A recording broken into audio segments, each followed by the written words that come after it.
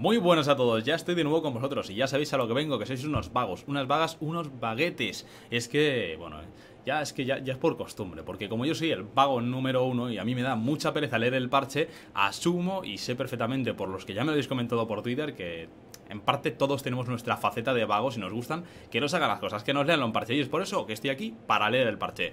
Y hoy no me entretengo ya más con esta introducción, vamos directamente a ver qué es lo que tenemos por aquí. ¡Boom! Parche 4.13.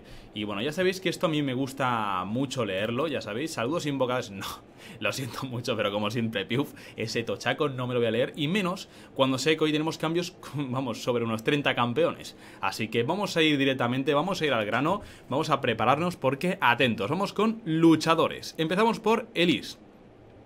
Bueno, bla bla bla, Elise, lo más importante, la maraña, su E, el stun, reducen la amplitud. ¿Qué significa esto? Antes tirabas, por así decirlo, mm, rango 70, pues cogías... Esto es como la comparación de las lanzas y tal de, de Nidalí. Pillabas un tronco y lo lanzabas. Y tirabas una telaraña del tamaño de un tronco. Ahora pillarás y tirarás una telaraña que será como medio tronco. No, medio tronco no, sería pasarme. De 70 baja 55 la amplitud. Así que si antes era así, ahora será así. ¿Es más complicado de meter un stun? Sí, pero aún así, yo creo que es algo que también era necesario, porque muchas veces tirabas un stun y el. Bueno, como que a lo mejor el muñeco estaba aquí, el stun pasaba por aquí y ya le estaba dando. Era un poco ilógico. De esta forma estará un poco más corregido y, es una forma de balancear también a Elise. Por otra parte, Rappel. Ahora Rappel calcula el alcance desde el centro de Elise al centro del objetivo desde el borde del is hasta el del objetivo, lo que significa que el alcance de rappel aumenta en 75 aproximadamente. Alcance reduce de 9.25 a 7.50. 825 se utiliza el antiguo sistema de cálculo de distancias. Bueno, pues para que nos hagamos una idea, han nerfeado un poco el rango, pero no lo han nerfeado tanto. O sea, sí que es verdad que lo han nerfeado, pero como ahora calcula de forma diferente, será un poquito menos de rango, pero tampoco será algo tan abusivo. Así que queda más o menos decente. Tampoco es que sea una gran modificación, pero eh, seguirá estando un campeón que ya sabemos que es muy fuerte, se puede hacer buenos dive y demás.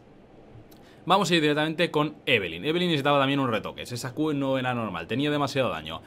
Bueno, vamos a ver, Q, Púa del Odio, daño mágico, 40, 60, 80, 120, lo reducen de 30 hasta 90 al nivel 5. Relación de poder de habilidad de 0.45 en todos los niveles a 0.35, pero al máximo nivel será 0.55.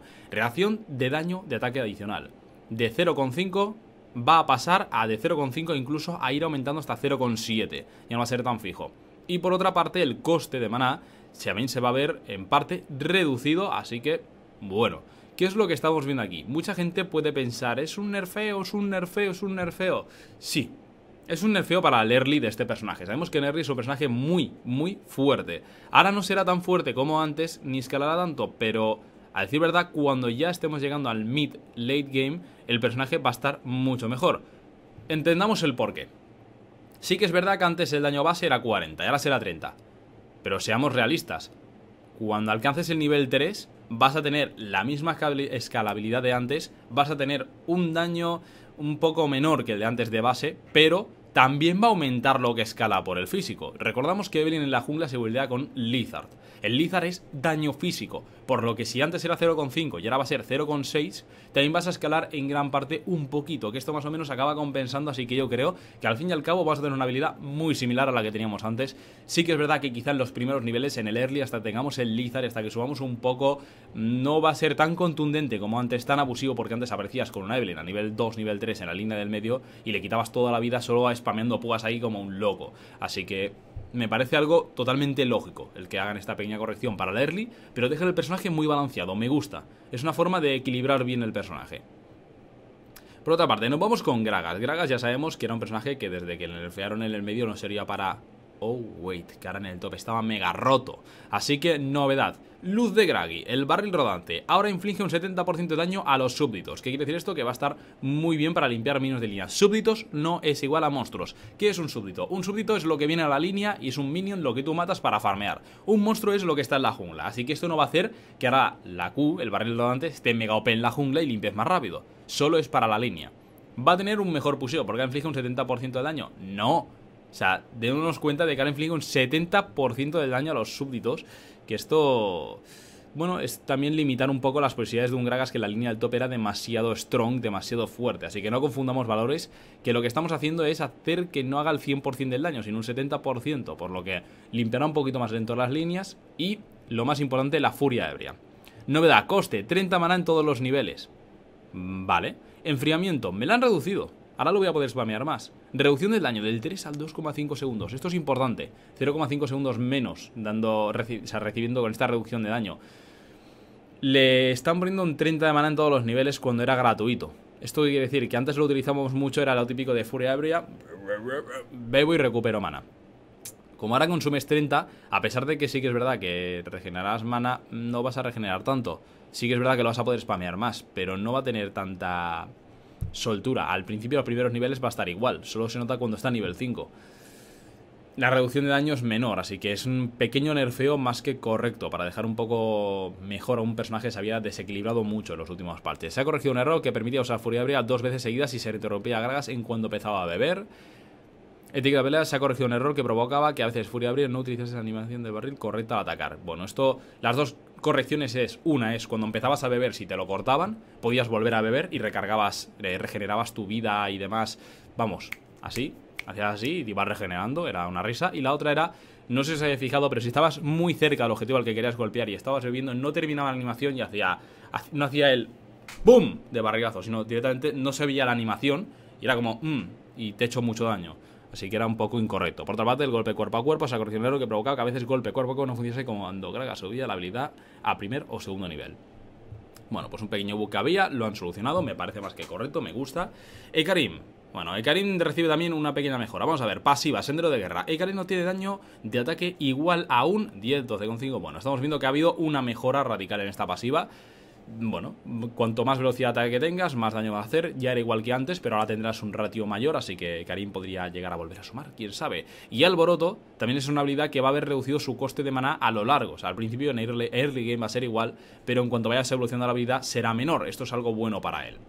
Seguimos y nos vamos con Jax, el maestro de la farola.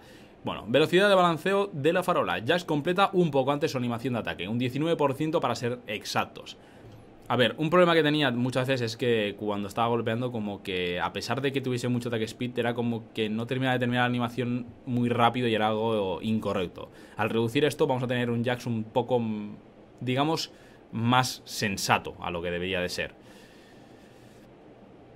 es un poco más fiable a la hora de saber cuando está dando el golpe. O sea, no es que vayas a pegar más rápido, pero para explicarlo bien, ¿vale? Muchas veces algo que intentamos hacer es dar el golpe y correr para atrás.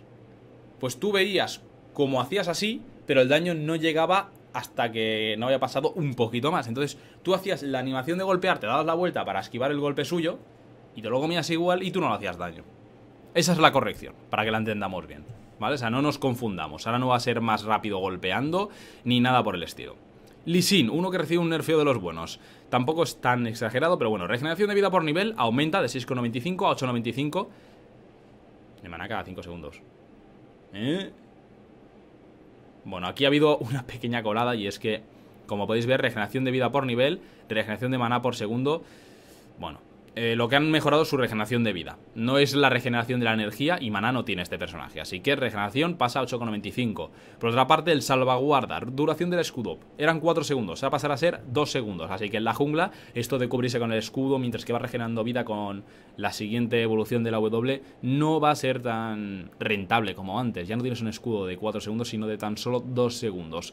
Por lo general, tampoco afecta mucho a lo que es el la pelea en sí del juego, vas a tener que apurar más cuando quieras poner un escudo sobre un compañero para salvarle cierto daño, etc. Nerfeo muy, muy duro. Incapacitar. A ver, incapacitar recordamos que antes lo que hacía era meter un slow y reducir la velocidad de ataque. Ahora incapacitar ya no reduce la velocidad de ataque del enemigo, solo la velocidad de movimiento. Muchas veces esto se utilizaba Lee no sé si lo recordáis, lo habíamos visto muchas veces en top, y es que era un personaje muy efectivo para luchar contra aquellos que tienen dependencia de la velocidad de ataque. Porque te encarabas con él, aplicabas la Q, te tirabas, hacías gran cantidad de daño, tirabas la E, le bajabas la velocidad de ataque y te permitía a ti encararte. Porque en ese momento recordamos que tenías dos golpes que son más rápidos. Por lo que podías pelearte un poco era Q, entro, daño, E, te le bajo la velocidad de ataque, te pego un par de golpes y salgo para atrás con el salvaguarda. Ahora esto ya no lo vas a poder utilizar en una línea porque no tienes esa reducción de velocidad de ataque. Y a la par, cuando estés gankeando, y estés en medio de una teamfight, no es tan potente como antes, porque tenías como un mini Randuin, que te aplicaba slow y velocidad de ataque también sloweada. Ahora, esto es un nerfeo que hay que tener en cuenta. Sí que están bajando muchas de las posibilidades que te ofrecía un Lee Vamos con Olaf. Resaca, la Q, enfriamiento de 8 a 7 segundos. Una pequeña mejora. Golpes virulentos, otra mejora grande. Amplificación de curación. Antes era 1% de curación por cada 2,5% de que te faltaba de vida. Ahora será 1% de curación cada 2% de vida. Así que ahora cuando actives la W vas a poder curar mucho. No sé si recordáis que había un combo que era utilizar la Hydra, utilizar también... Eh, si no recuerdo mal, Blade of the Ruin King junto con la W, estabas sin vida y, y te ponías full, pues ahora va a ser más full. te va a salir hasta el escudo de la sanguinaria, si la tienes comprada para que nos entendamos. Así que me parece bien. Mejoran a Olaf, que es un personaje que debería de retomarse. Es un personaje que aporta mucho al meta. Es un cambio drástico a lo que se suele ver en top y me gustaría verlo recuperado. Ragnarok, la R. Estamos viendo que reducen el enfriamiento para que no sea tan abusivo. Vamos con Shen. Vamos a ver, Shen, corrección. Se ha corregido un error por el que en ocasiones Shen no se teletransportaba hasta el objetivo al que estaba protegiendo, sin haber una razón concreta para ello. Pasaba muy de vez en cuando, pero a veces pasaba. Así que, bueno, pues nos vemos en la LCS, es el comentario que le añaden. Estaba totalmente desactivada en la LCS por este bug y ahora se va a volver a utilizar. Así que, ¿creéis que lo veremos en la LCS utilizado? ¿Estará dentro del meta? Eso nos lo van a saber los jugadores profesionales. Vamos con Sivana. Quemado, eliminado, dragón domesticado. Ya no es posible ampliar la duración máxima de quemado utilizando ascendencia del dragón. Ahora el rastro de fuego ascendencia del dragón inflige cada daño 0,75 segundos en vez de un segundo para que coincida con el índice de daño quemado. Bueno, pues una pequeña corrección y una pequeña mejora también para que no esté tan fuerte Shivana. Y nos vamos directamente con hechiceros y asesinos. Vamos con Kale. Kale había recibido un nerf muy vasto tan vasto que se había quedado fuera. Así que lo que han hecho es corregir un poquito a ver si así consiguen que se quede un poco más dentro. Relación de portabilidad del 0,2 al 0,25, a ver si así hace un poquito más de daño. Enfriamiento de la intervención, recordamos que recibió un nerfeo totalmente drástico y eliminaba al personaje casi del juego. Lo corrigen un poquito para que, a pesar de que cuando estés al nivel 16 sea lo mismo, por lo menos al principio en early game sea un poco más útil. No sean 110, sino que sean 100. Que esté un poco más equiparado a otros ultimates de otros personajes a los que en su momento lo hacía counter y después de este cambio ya dejó de hacerlo.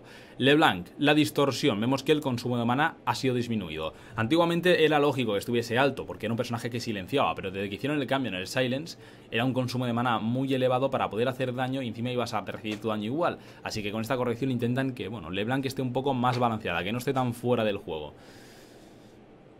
Mm, vamos a ver. Lisandra, otra que recibe muchos cambios. Fragmento de hielo, enfriamiento. Vemos que aquí que ha sido reducido y cuando esté al nivel máximo se reduce de 4 a 3 segundos y bueno, va escalando de una forma progresiva. Anillo de escarcha, relación de portabilidad del 0,60 al 0,40. Una corrección, no va a tener tanto daño como antes el anillo de escarcha, pero la tumba helada el ralentizar sí que ha sido aumentado, desde el 30 que ya será en el primer nivel hasta el 75 al máximo nivel. Una forma de intentar hacer más viable la utilización de este personaje.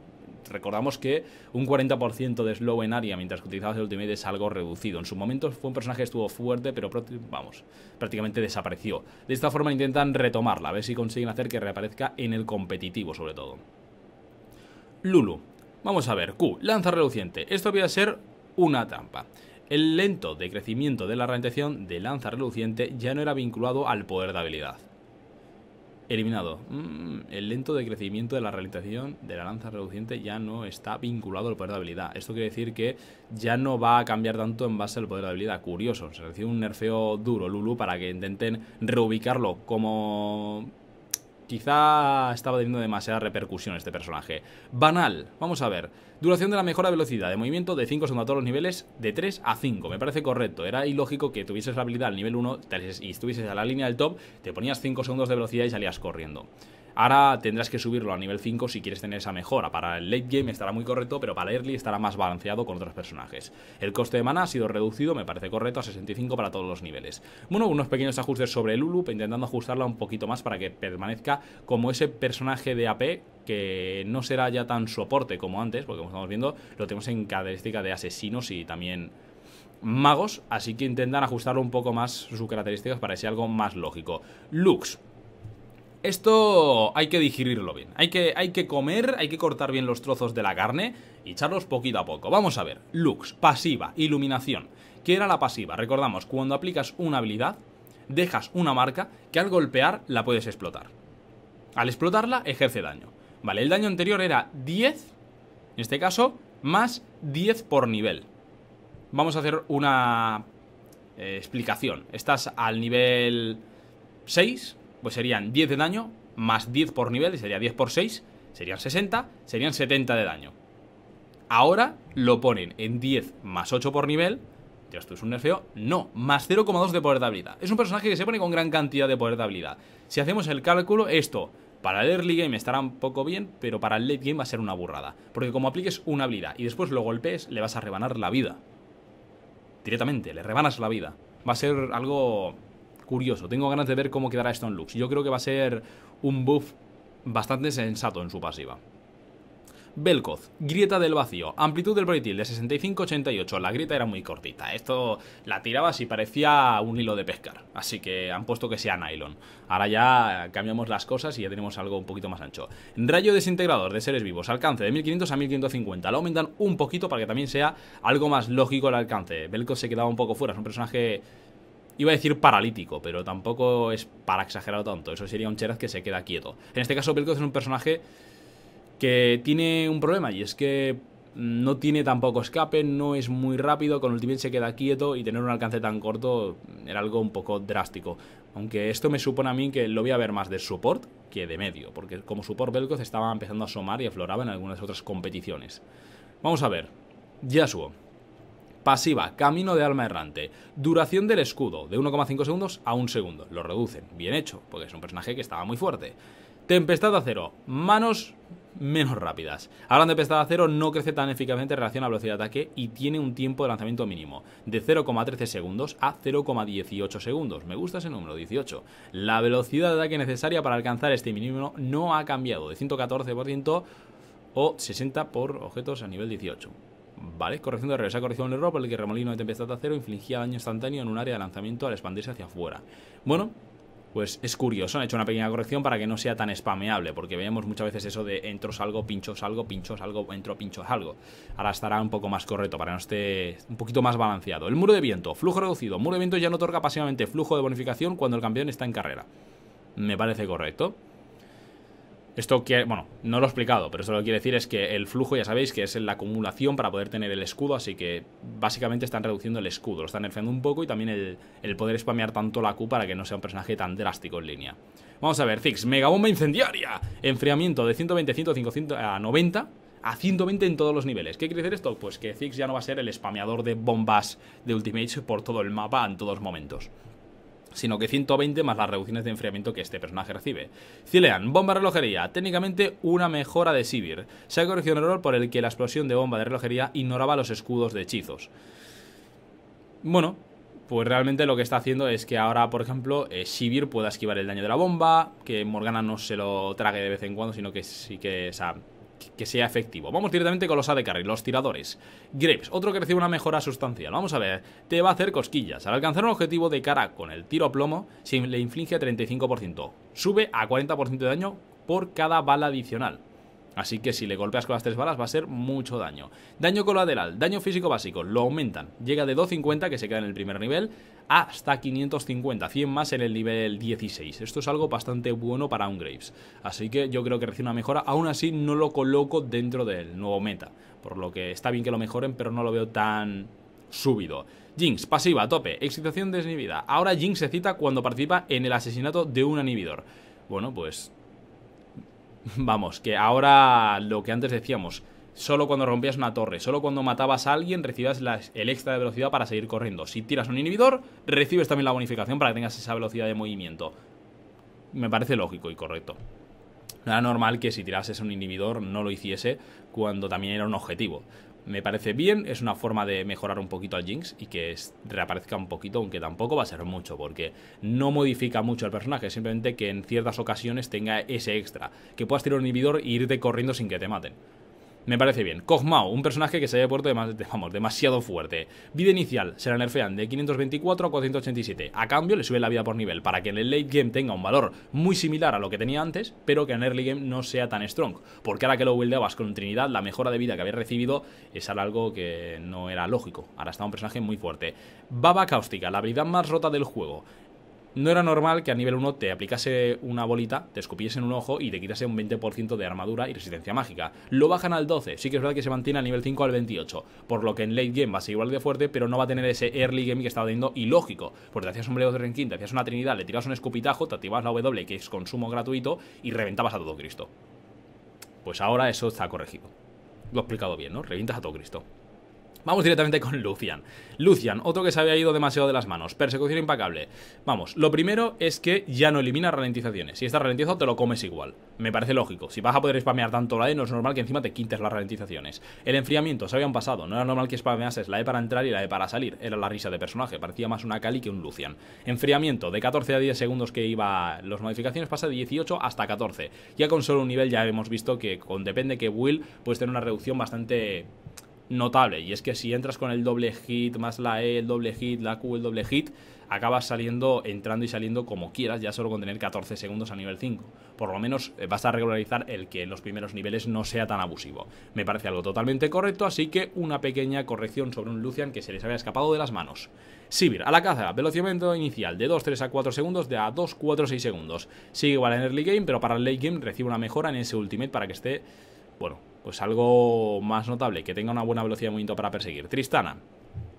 Salto del misil, duración de ralentización de 2,5 segundos a todos los niveles a una reducción del 1 hasta el 3. Recordemos que Tristana había recibido mucha potencia con los últimos cambios, se volvió un personaje mmm, con mucho impacto y el que saltarse encima y encima ralentizaras a los enemigos tan vasto ya a nivel 1, pues ser algo un poco drástico para que no se pudieran escapar cuando estaban debilitados. Así que lo corrigen, lo mejoran para cuando estés al nivel 5, pero lo que hemos dicho, hasta que no lo tengas mejorado, no va a ser tan bueno. El primeros niveles solo es un segundo y me parece algo más lógico. Tiro explosivo, daño mágico activo. Bueno, estamos viendo que ha recibido también un pequeño nerfeo, no es tan drástico, no tiene tanto daño, no es tan potente en los primeros niveles, pero para el late game va a ser prácticamente lo mismo. Nos vamos con Varus, personaje que ya casi poca gente recuerda, estaba prácticamente desaparecido. Flecha penetrante, claridad. Ahora al cargar muestra un indicador lineal además del circular, para que sepas directamente hacia dónde vas a tirar esa bala, esa flechita. Cadena de corrupción recibe una corrección, más bien, porque no soy capaz de decir que es una mejora, es algo que tendría que estar de hace mucho tiempo, y es que tenía un reuse demasiado extenso. Lo cambian, lo modifican para que se adapte más al nuevo meta, a las nuevas habilidades, a lo que tenemos ahora mismo, y es que lo bajan para cuando esté al nivel 16 hasta 70 segundos, lo que hace que Varus, bueno, pues al tener más este ultimate puede llegar a reaparecer, aunque aún así es un personaje demasiado estático, no tiene escape y eso lo complica. Vamos con Bane, otro personaje que recibe una mejora. Velocidad de ataque por nivel de 3,1 a 4, ahora va a tener más velocidad de ataque cada vez que vaya subiendo de nivel, esto es bueno para Bane, podría llegar a reaparecer porque es un personaje con poco corto, con corto alcance, pero que gracias a la velocidad de ataque puede hacer esa sucesión de golpes para conseguir la W, aplique los tres golpes y hacer daño real sobre el enemigo. Y además mejora también sobre la hora final, su ultimate. Se ha corregido un error porque la pirueta recibía más 0,1 de daño de ataque adicional mientras hora final está activada. Ahora es correcto lo que tiene, pero compensación por lo anterior, hora final otorga de 25, 45, 25 a 30, 50, 70 de daño ataque adicional de principio a fin. Así que la mejora de daño que tiene ahora el Ultimate es algo más basta. Si antes una Bane cuando alcanzaba el nivel 6 podía llegar a ser peligrosa, ahora lo va a ser mucho más. Y es que ya de por sí en el primer nivel si tienes 5 puntos más de daño, pero cuando esté a nivel 16 va a tener 70 en vez de 55. Estamos hablando de 15 más. Cuidado con Bane más velocidad de ataque, más daño ultimate, una Bane que se vuelve algo más peligrosa. Nos vamos con los supports. Sona. Sona recibe el mayor cambio del juego. Y es que directamente por lo general, juego. Sona ha recibido una autorización de juego. Peinados y tal. Se han autorizado los modelos, texturas y las animaciones de Sona. Visual. Se han autorizado los efectos de partículas y los iconos de habilidades. Zona musical. Ahora las nuevas partículas de Sona indican el área de efecto en sus auras. Claridad. Se ha modificado la zona en la que se extienden las partículas de creciendo para moldarla a su zona de impacto, aunque su área de efecto sigue intacta. Ahora los enemigos bueno, enséñame cómo te mueves. Ahora los enemigos aturdidos por creciendo verán un 50% más de prisa. ¿Qué es lo que ha pasado? Bueno, Sona ha recibido unas correcciones para que esté algo mejor. Ha sido corregido in-game para que esté un poquito mejor y no solo eso, ahora te mostrará un área de efecto alrededor tuya para que sepas dónde están afectando el área de tus habilidades. Y por otra parte también ha hecho una pequeña claridad de cuáles son los alcances. Ahora creciendo se mostrará más correcto, más a dónde está enfocado. No será algo porque sí que será una habilidad y no sabes realmente lo que está alcanzando, sino que ahora cuando alcance estará alcanzando de verdad porque no está modificado sino simplemente que visualmente será algo más claro. Y para que te enteres de que realmente están bailando, lo han aumentado la velocidad. Así que una zona, pues que ahora recibe una pequeña modificación. Y bueno, si nos vamos directamente sobre el enlace que nos dice, nos vamos por aquí. Bueno, Han desactivado el enlace, no sé por qué. A ver, no sé por qué no me deja. A ver, ahora. Bueno, me lo voy a abrir en una página aparte. Vamos a ir directamente. Aquí está. Porque esto yo creo que se merece también aparte, como estáis viendo, un visionado un poco más extenso. Bueno, lo primero, pasiva al acorde. Como estáis viendo por aquí, vamos a activaros el sonido para que también lo escuchéis. Pero bueno, como estáis viendo tiene esta zona de efecto, así que ya más o menos están marcando, ya sabes dónde está golpeando. La pasiva, cuando tienes... O sea, me refiero, eso era la Q, esta es la pasiva, para que se vea un poquito más como debería de ser. Otra parte, himno de valor. Como estáis viendo ahora mismo, cuando active la habilidad, ahí está, tiene que entrar en el rango, ya te lo está marcando cuando está haciendo el efecto y cuando no. Eso es bueno, porque antes no lo marcaba. Perdón. Vale, me ha acabado de dar cuenta de que lo que yo estaba viendo en la otra pantalla no era lo mismo que se estaba viendo aquí. Mm, mm. Ahora sí. Disculpad, ha sido un error, pero bueno, lo podéis ver ahí. Ahora cuando entra en la zona de efectos, cuando realmente se muestra el que están recibiendo ese daño. Una pequeña corrección para que se, se vea. Área de perseverancia también, la curación. Y también ese extra. De nuevo, activa la habilidad, llega la corrección, pero hasta que no entra sobre la zona, no se quita ese escudo que te está indicando el que realmente tiene esa mejora. Vamos con canción de la celeridad. Vamos a ver. ¿Qué tenemos por aquí? Más de lo mismo. Vienen corriendo, activa la zona, se pone encima y ahora sí que tiene un indicador y dejan ese rastro detrás suyo como si fueran ninjas para que se vea que están corriendo un poquito más. Y el crescendo también que recibe esa pequeña modificación para que lo veamos un poco mejor. Como veis ahora es algo más claro, te lo marca en el suelo de que ha sido alcanzado y se ve como baila un poquito más rápido. Y bueno, por aquí ya nos enseñan un poquito reflexiones sobre el campeón, alguna que otra modificación, pero bueno, Vamos a ir saltando porque si nos enrollamos solo con Sona, ya sabéis que para Sona podríamos hacer incluso un vídeo alterno. Es más, mira, os propongo una cosa, si queréis un vídeo alterno para Sona, dejar, hacérmelo saber en los comentarios y ya profundizamos un poquito más con ella, nos metemos en el PvE y lo vemos en directo, porque si no, esto va a ser un caos, que aún tenemos muchos campeones por delante. Vamos con Brown. Tenemos por aquí. Brown, pasiva de golpes conmocionales, daño básico mágico, bla bla bla, de 38 a 12 por nivel más, será 32 más 8 por nivel, reducción, hacía mucho daño a la pasiva, no era lógico. Detrás de mí, también, detrás de mí. Coste de, de mana ha sido bueno, en este caso aumentado para los primeros niveles, se mantiene el late, era una habilidad que costaba muy poco mana, daba demasiada estadística y era demasiada mejora. Fisura glacial, duración del derribo del primer objetivo de 1,5 segundos a 1, 1,25, 1,5, dependiendo del nivel en el que tengas. Ya no es tan abusivo este ultimate de los primeros niveles. Ralentización del 60 a 40, 50, 60. La habilidad en el nivel 16, o sea, cuando tengas el 3 del ultimate, es lo mismo. Pero han nerfeado el early y el mid game, para que no sea tan destacado este personaje. Cuando un enemigo sale del campo de hielo o fisura glacial, sigue ralentizado durante 1,5 segundos. Mentira, ahora será 0,25. Algo más lógico, porque es que no era normal que un personaje estuviese tan correcto. Vamos con Yana. Pasiva, el empuje, alcance de 800 a 1000, para que tenga un poco más de alcance, que se estaba quedando un poquito corto. Temporal. La Q. Ahora el periodo de enfriamiento comienza a contar cuando se inicia el lanzamiento temporal y no cuando se lanza. Porque antes había un problema y era que cuando tú pulsabas, hasta que no se cargaba, como que no empezaba a contar, ahora cargará antes. Duración del derribo de 0,5 a 1 segundos, de 0,5 a 1,25. Una pequeña mejora para Yana, a ver si de esta forma consiguen hacer que reaflore, aunque va a ser muy complicado. Nami, resaca y oleada, enfriamiento de 9 a 10 segundos a todos los niveles. Una pequeña corrección y aparte su velocidad de movimiento se ha habido reducida de 3,40 a 3,35. Intentan corregir un poquito Nami, se estaba yendo de las manos el spamio de las W. Vamos con 3, camino oscuro, novedad, no tenemos tarifa para grupos. Esto es una pequeña broma que incluye aquí, pero es cierto. Antes tú aplicabas eh, un escudo sobre un grupo, ahora solo aplicarás sobre un objetivo, el que esté más cerca.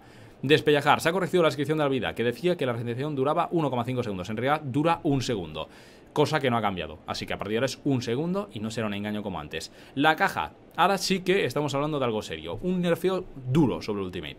Estás atrapado aquí conmigo. La caja, la caja ya no inflige daño adicional a los enemigos cuando rompen otras paredes aparte de la primera. Estas paredes siguen causando el efecto de ralentización que dura la mitad que de la primera. Quiere decir esto. Tú llegabas con 3 y hacías ¡boom! Aparecías una caja a tu alrededor. Rompían un muro, recibía daño y ralentización. Rompían otro muro, recibían daño y ralentización. Rompían otro muro bueno, pues ahora rompes un muro, recibes daño ralentización, y si rompes los otros, serás eh, ralentizado, pero no recibirás daño. No será tan drástico, bueno, la función en una pelea va a ser la misma, porque el daño tampoco era tan elevado como para tenerlo en cuenta. Pero lo que sí tenemos que tener en cuenta es cómo afecta al early. Tú antes te tirabas encima de los dos objetivos, ponías, hacías efecto del muro, hacías daño, que era una gran cantidad de daño en early game, cuando tenías el nivel 6 recién alcanzado, y aparte también ralentizabas a otros objetivos. Ahora ya no será lo mismo, por lo tanto estamos hablando de que en la línea no será quizá tan fuerte como antes. Aún así, Ceres sigue siendo un personaje por cómo está montado, por qué habilidades tiene, sigue siendo uno de los mejores supports y eso no va a cambiar. Objetos, realización de objetos. Queremos que la compra de mejoras para objetos sea un poco más intuitiva. Si miréis el título de la nota de esta versión, bla, bla, bla, vamos, que han reordenado un poquito las cosas para que estén un poco más. Nuevos términos de búsqueda. Si buscamos por amarillo aparecerán todos los totems, si buscamos por rojo aparecerán todas las lentes, por azul todos los orbes, por verde todos los guardianes de visión. Vamos, que están haciendo un poquito más cómodo las búsquedas. Modificaciones. Hasta ahora no parecía haber razones de peso para crear un tote invisible mayor, así que hemos dado a los jugadores un enfriamiento más bajo, enfriamiento de 120 a 90 segundos, para que puedan cambiarlo antes. Ya no es necesario esperar todo el tiempo. Colmillo de escarcha también recibe una modificación. Vemos que el oro pasivo pasa de 4 oros cada 10 segundos a 2 horas cada 10. Recibías demasiado dinero porque era un... Bueno, por ejemplo, Morgana. Llegabas con Morgana, llegabas a la línea, aplicabas un oro en el suelo, toma oro para ti. Y aparte va sumando oro, no era lógico. Hacer una corrección que se aplica tanto con el colmillo como con el filo. Por otra parte, medallón de nómada. Velocidad de movimiento, se le añade más 10 de velocidad de movimiento para que seas un poco más rápido, pero la reacción de mana también ha sido nerfeada, de 7 mana cada 5 segundos a 5 mana cada 5 segundos. Y ahora, cuando lo, cuando lo subes a emblema ascensión, recibes más 20 de velocidad de movimiento, que está muy bien para aquellos supports que necesitan tener velocidad de movimiento, ya no solo por esa pasiva, ya sabéis que es como el Shureli anterior, que te da extra de velocidad de movimiento, pero por ejemplo un Blitzcrank necesita moverse rápido, un Alistar que también a veces necesita tener una buena velocidad de movimiento, aunque con Alistar tampoco es que sea tan común utilizar este ítem, no siempre es utilizado, para dar un ejemplo, estamos hablando de personajes que necesiten moverse rápido, pues esto va a mejorar, porque ahora tendrán una velocidad básica mejorada aparte de lo que apliquen después. Regeneración de vida también, bajada de 10, o sea, perdón, de 10 a 15, subida, y lo que sí que nerfean es la reducción de enfriamiento, que era 20, la bajan a 10%, porque acumulabas demasiado. Podías pillar un par de ítems rápidamente y tener un 40%, que es el cap. Tenaza, tenaza de muerte ignea, reenfriamiento de 60 a 90. Intentan evitar que los combos estén tan sobrevalorados. Que no sea el tiro a la tenaza, te tiro todo el daño de Ari y te mato. Tiro a la tenaza, te tiro el daño de Sindra y te mato. Bueno, que no sea tan drástico, que a veces tenías la tenaza demasiado pronto. Relay, un ítem que parecía que estar desaparecido no daba lo suficiente, no daba lo que necesitaban muchas veces, bueno, pues lo modifican. Ya no da 500 de vida, dará 400, un poquito menos, pero a cambio de 80 a 100 de habilidad. Y costará lo mismo, así que será un ítem que dará mucho poder de habilidad, te dará vida. Puede ser un buen ítem para algunos medios que sí que lo puedan necesitar, incluso una buena incorporación para personajes como Gragas, que va a seguir teniendo ahora esta pequeña mejora. Un personaje que se builda como tanque, tener un poco más de habilidad a cambio de un poquito menos de vida. Bueno, ya veremos cómo sube esto. Tengo ganas de ver si reaparece Relay con este pequeño cambio. Velo de edad, tenías demasiados velos. No es normal que cada 25 segundos tengas el velo de nuevo. Pasa a 40 segundos de forma que no puedas estar evadiendo durante tanto tiempo un stun. Una vez te lo quiten será algo más a guardar. No es el me pongo en medio, me quito esto y vuelvo a tenerlo en 25 segundos. Sino que es si te pones en medio va a ser 40 segundos en los que no vas a poder evadir un stun o una iniciación. Vamos a dar un supuesto mm, te pones en medio y te comes una habilidad de una Nidalí, una lanza, porque no quieres que nadie se coma el daño, porque sabes que en 25 segundos lo vas a tener y el Warwick no te va a tirar ultimate vas a tener que tener más cuidado, porque ahora si te la comes van a ser 40 segundos que van a tener para poder buscar una iniciación en el equipo rival. ¿Qué dice Armonía? Tenía 25 resistencia mágica, pues lo bajamos a 20, un poquito más. Y es que era demasiado, pero después cuando subas a Atenea tendrá de nuevo 25, como estábamos teniendo antes, tendrá esa mejora. Espada de ocultismo, las espadas no son buenas para redondear. Espada de ocultismo, pierde 6 acumulaciones, 7 acumulaciones cuando el campeón muere con 20 acumulaciones. Bueno, pues siguen reduciéndolo para que no sea tan bastón. Navaja de Madrid, vamos a ver. Una pequeña mejora de convivencia ahora. Vamos a ver.